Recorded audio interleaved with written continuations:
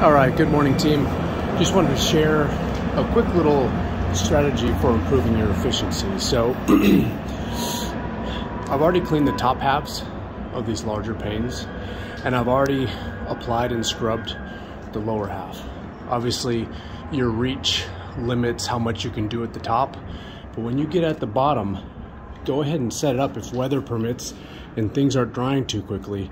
Go ahead and set it up in this fashion so that you're applying all, steel wooling all, preparing, you know, your dry zones or whatever. And then finally, it's all about, you know, squeegeeing and detailing. Um, the more that you can divide, the more that you can set up your work so that you're minimizing the amount of time you take out your steel wool, minimizing the amount of time you're taking out your applicator, the quicker the work will get done.